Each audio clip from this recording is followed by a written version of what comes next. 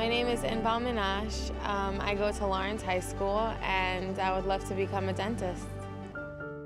In October, I was diagnosed with Ewing sarcoma. You really have to be focused on fighting through. We did all the available protocols in the state and it doesn't work. And uh, hopefully we will be accepted to the new trials that is coming soon. It was just very scary to know that in this war, I do have a chance of losing. We are in a world aggressive cancer. If it wasn't for them, I don't know how I would have done it. The day when I got diagnosed, I felt like I was pushed in a corner and I, there's no way of getting out. I was hopeless. And I, was, I had so many plans. I thought I was gonna be a big doctor. And all those plans are on pause. And they always remind me that it's, it's not like you're never gonna have those plans. They're just on hold for now.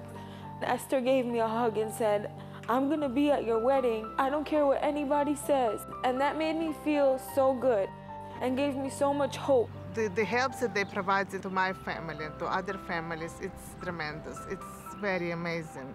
They give their whole lives to this, and everybody that goes along with it, the volunteers that came with me to Disney World. I had the most amazing time, such a good feeling. You have to know that you're not alone. December 2006, I was diagnosed with my initial cancer. 2010, I was finished with my three years of chemo. More recently, they had found out that it was a relapse. We obviously thought we killed it the first time and it went away. Now it's back. It was shocking for us. I wish nobody can experience this experience, only my enemies.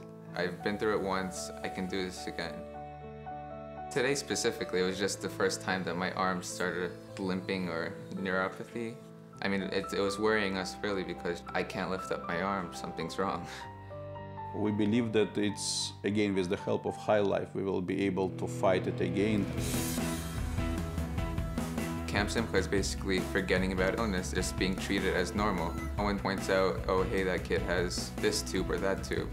I, I don't think I would be the same person if I did, had not gone to camp. I don't think I would have the same confidence in myself and in my treatment.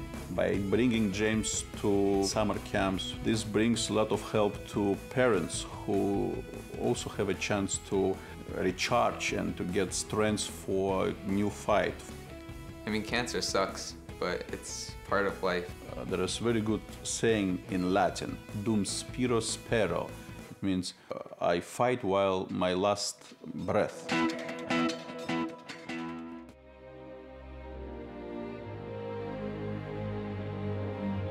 During the winter of 09, my health was slowly deteriorating. Terrible, terrible, excruciating brain pain. I took him for an MRI. It was just him and I. I never would have imagined a brain tumor. Like, who immediately thinks cancer?